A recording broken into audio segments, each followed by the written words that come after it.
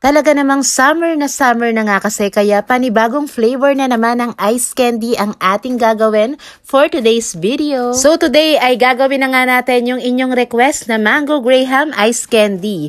Una ay sisimulan natin yan dito sa ating kasirola na lalagyan natin ng 2 liters ng tubig at 1 cup ng cornstarch. Pwede rin naman po ng cassava flour pero pwede rin pong gumamit ng cornstarch at ako ang gamit ko ay cornstarch na dinisolve ko lang sa tubig.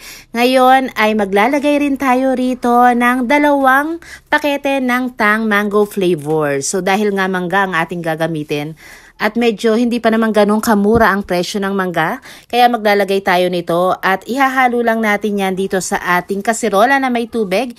I-mix nating mabuti at kapag dissolve completely na yung ating mga cornstarch dyan ay isasalang na natin to sa apoy. Bali ito nga ay continuous nating hahaluin ang ating apoy katamtaman lang ang init. So kailangan po na ito ay pakuluin at luto talaga yung ating cornstarch kasi parang mahablang ka kapag hindi po masyadong luto ang cornstarch lasang hilaw. Kaya para ma-achieve natin ang super smooth at hindi maaligas-gas na pagkakaluto ng ice candy ay sisimulan natin yan sa maayos na pagluluto nitong ating pinakatubig na gagamitin. So kapag creamy na yan, yan at kumukulo na ay pwede na nating i-off ang apoy. I-rest muna natin yan. Papalamigin po muna natin and while waiting, pwede na nating hiwain etong ating mangga. Dalawang piraso lang yung aking gagamitin dahil hindi pa naman po ganun kamura ang presyo ng mangga ngayon. Yung mga overripe na mangga, ganun po talaga yung masarap gamitin sa ice cream or sa ice candy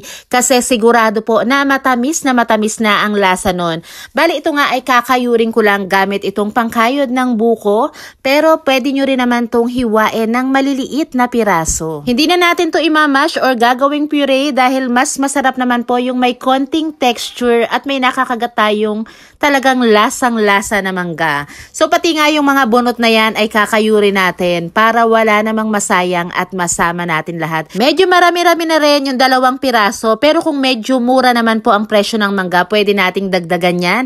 At dito nga ay gagamit rin tayo ng hindi naman sponsored pero paboritong paborito ko na Angel Creme Densada. Malamig na nga rin itong ating niluto kaninang tubig kaya paghahalu-haluin lang natin lahat ng mga sangkap.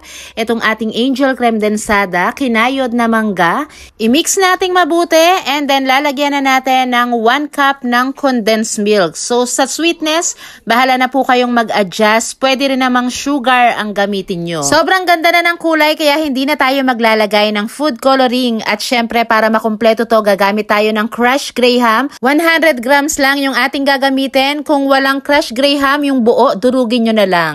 At syempre, ang paglalagay naman po ng cheese ay optional lang din. At for your reference nga, igagamit tayo ng size 2x10 na plastic at half cup ang gagamitin natin na panukat. I-plastic na natin, maglagay tayo ng around half tablespoon ng crushed graham at ibuhos na natin itong ating mango mixture, half cup. Ibubuhol lang natin at ang kabuuan po ay nakagawa ako ng 35 piraso ng masasarap, malinamnam na mango graham ice candy. At dahil nanonood ka pa at nagustuhan mo itong ating recipe, pakilagay naman sa comment section kung saang lugar ka nanonood ngayon para alam natin kung saan ba nakakaabot itong ating mga recipes.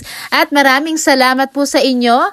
Shout out nga po pala kay Ma'am Janet Pakliba ng Libis, Quezon City. Hello din po kay Ma'am Jocelyn Leporada Ramirez ng Saudi Arabia. Mag-iingat po kayo lagi dyan. At kay Ma'am Cheryl Rubio ng Nueva Ecija.